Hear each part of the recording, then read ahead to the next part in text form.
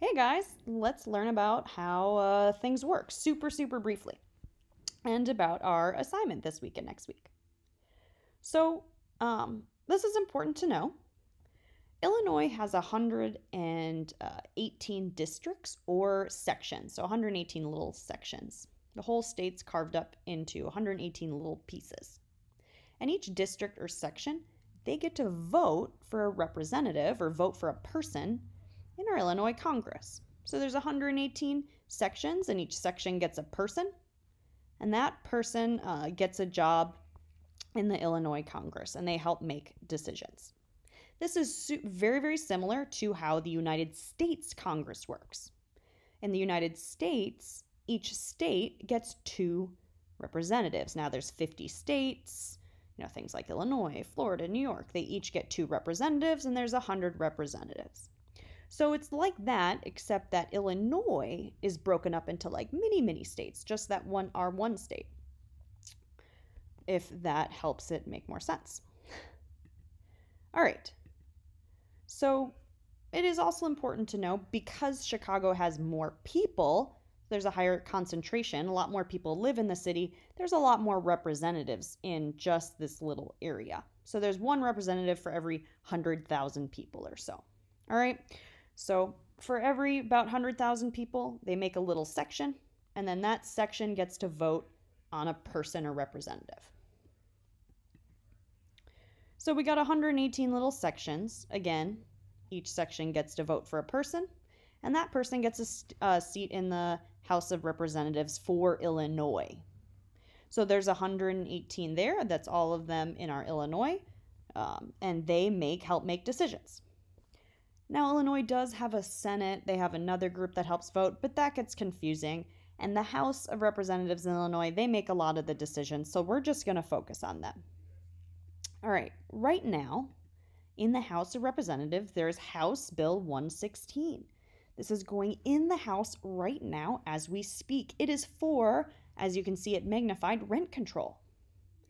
What it would do is it would lift the ban on rent control. If you didn't watch that other video, you definitely uh, need to, because that explains the history of the ban on rent control, so it makes a little bit more sense, because it's really confusing and a lot of adults are even confused about it. But it would lift the ban so that if a city or town in Illinois wanted rent control, they could get it. So, it is important to know that your representative for your little district, the way they get paid is by people voting for them. If they're voted in, then they get the job. So it's really important that you tell them how you feel. Because if your section or your neighborhood gets really mad at them and they start going against them, they're not going to have their job in the future. They get voted every two years. So it's a really short term job. So it's important you let them know how you feel. So there's a way to do that. If you go to this Illinois website, you could find your alderman. Maybe there's a city issue, right? So this kind of works the same way in the city. The city's broken into neighborhoods. Or you can find your house for the the Senate and you can find who your representative is there.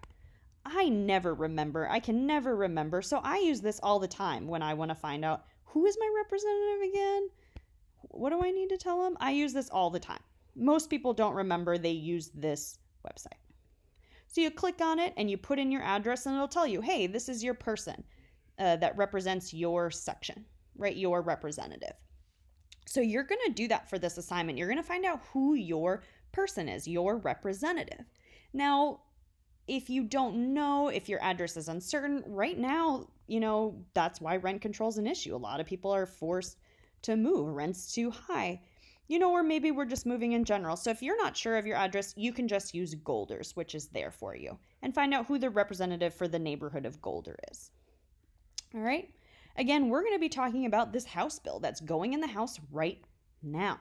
So your last assignment is an argumentative paragraph or letter saying, hey, representative, whoever represents you, I support rent control, or I do not support rent control. You're going to write them a letter. Now, you don't have to really send it to them, it's just to me.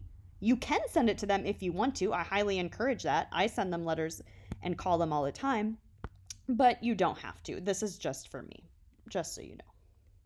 So, just going over this week, we're going to actually just prepare or outline for the letter. In the past, you've written in a week, but it's the end of the year. We're going a little bit slower. So this week, you're just going to prepare. All right, what maybe what would be an image I would want to give them of why I support this or don't? What quote might I use to say why rent control is a good idea or a bad idea? You're just going to prepare. All right? Little bullet points this week. Next week, you're going to write the full letter, and it's just a paragraph. So, um, so super short, not too bad. I really want to emphasize that this is 50 points and it can replace a previous argumentative assignment. So this can bu- bump up your grade a ton. And of course, if you don't do it, it's not it's going to hurt your grade. So you really want to make sure you get this done. It's our very very last assignment, last assignment before our final exam. Again, if you have an A, you are exempt. If you I didn't tell you that, now you know. So your last assignment's going to look like this. Again, this week we're just going to prepare bullet points and next week you're going to write it where you put your state representative's name, dear representative, you know, Theresa Mah or whoever it is.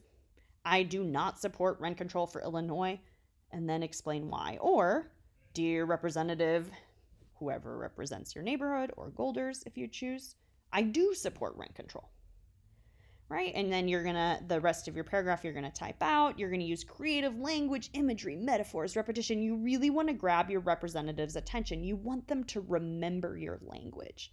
You want them to remember you. You're an influencer here. Um, you're gonna also need to use a quote from one of the articles that support your argument. And I really wanna emphasize this is your last assignment before finals. And again, if you have an A, then you don't need to take the final exam if you don't want to. Also, if you want to get that paragraph done early, you've done it in the past. You've written a full argumentative paragraph in one week. If you want to do that this week, this could be you all next week, just chilling. So, that is uh, a heads up on what we're doing this week. I am you guys are so good at creativity and metaphors and imagery, so I'm really pumped to read uh, what you write and prepare.